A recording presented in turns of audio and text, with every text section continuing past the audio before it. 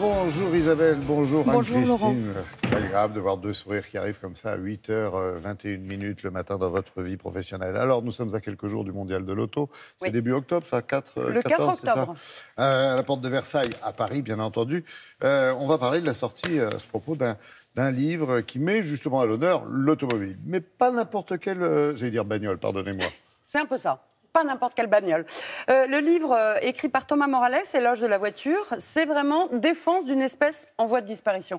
Et c'est vrai qu'on a l'impression euh, que l'automobile est responsable, elle est accusée de tous les maux. Comme si à elle seule, elle était responsable de toute la pollution automobile, la pollution mondiale. Alors qu'il n'y a pas que l'automobile, bien évidemment. D'ailleurs, il y a une phrase qui est Non, drôle. il y a aussi l'industrie automobile, celle qui les fabrique. Oui, il y a les logements, il y a tout ça. hein. Euh, il dit à un moment donné dans son livre, la chasse à l'automobile est désormais ouverte dans la capitale. Toute l'année, le tir au pigeon roulant, ce nouveau sport national, se pratique dans l'indifférence générale. Et c'est vrai qu'on a l'impression que quand on dit on aime la voiture, j'aime la voiture, c'est comme si on avait dit quelque chose de catastrophique. On n'a pas le droit de dire ça. Donc, euh, pourtant, il y a quand même beaucoup de Français qui s'intéressent à l'automobile, notamment euh, pour les voitures de collection, puisqu'il y a 200 000 euh, collectionneurs.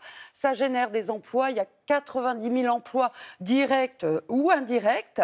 Et dans son livre, Thomas Morales, en fait, parle de la passion des voitures, mais vous allez voir, pas de toutes les voitures.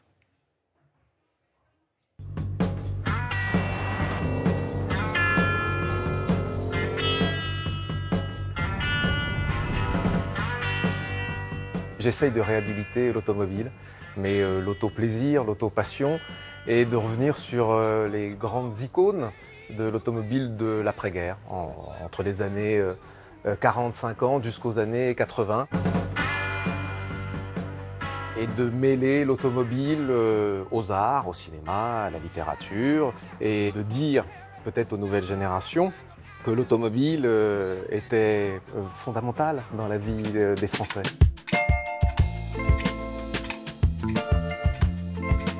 Je regrette les voitures des années 50. À cette époque-là, les voitures avaient une identité extrêmement forte. Chaque marque possédait à son catalogue un modèle qui exprimait euh, l'intelligence des ingénieurs et des designers. Si on prend par exemple Citroën, c'est la, la DS, sortie en 1955, qui est une voiture relativement incroyable, suspension hydropneumatique, euh, ligne fuselée, direction assistée. Peugeot, le concurrent, propose une autre voiture qui est la Peugeot 404, qui a un matricule très classique, voilà, une bourgeoise, euh, discrète, deux visions euh, radicalement différentes, un style un peu italo-américain d'un côté, et puis de l'autre côté, un style très visionnaire. Donc finalement, chaque euh, acheteur de voiture à cette époque-là pouvait exprimer ses émotions dans son volant. Dans les voitures vraiment emblématiques, je dirais la Mercedes 300 SL, qui est certainement une des plus belles voitures du monde. C'est une voiture sortie en 1954 qui est reconnaissable avec ses ailes papillons. Je pense que c'est peut-être le plus bel objet d'art qui a été produit euh, au XXe siècle dans une production de masse. hein. C'est quand même un constructeur automobile. Euh, c'est l'alchimie parfaite entre le style d'un designer et puis l'intelligence d'un ingénieur. Mustang, c'est des souvenirs de cinéma.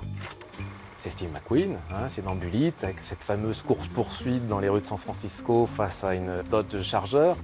Dans un film euh, plus dramatique, c'est la Mustang de Que la bête meurt de Claude Chabrol avec Jean-Yann. Et puis, bah, le film oscarisé, euh, Un homme, une femme, avec cette fameuse arrivée euh, sur les planches à Deauville. Jean-Louis Trintignant a une Mustang blanche. Sur les portières, il y a son numéro de course 184. Et il retrouve euh, Anouk Aimé sur la plage en Normandie. C'est une grande réussite, hein, c'est la voiture de sport la plus vendue au monde. Donc là, c'est une lignée comme la Porsche 911 qui est parfaitement réussie. Je pense que l'automobile, la passion, euh, est irriguée avec des voitures haut de gamme. Hein, des voitures haut de gamme ou des voitures sportives. Malheureusement, par exemple, les constructeurs français ont abandonné le haut de gamme. hein, C'est un vieux serpent de mer. Un pays où il n'y a pas de voiture euh, un peu exceptionnelle, et il perd la passion. Et puis, la France, n'est pas un pays où il y a une culture automobile forte.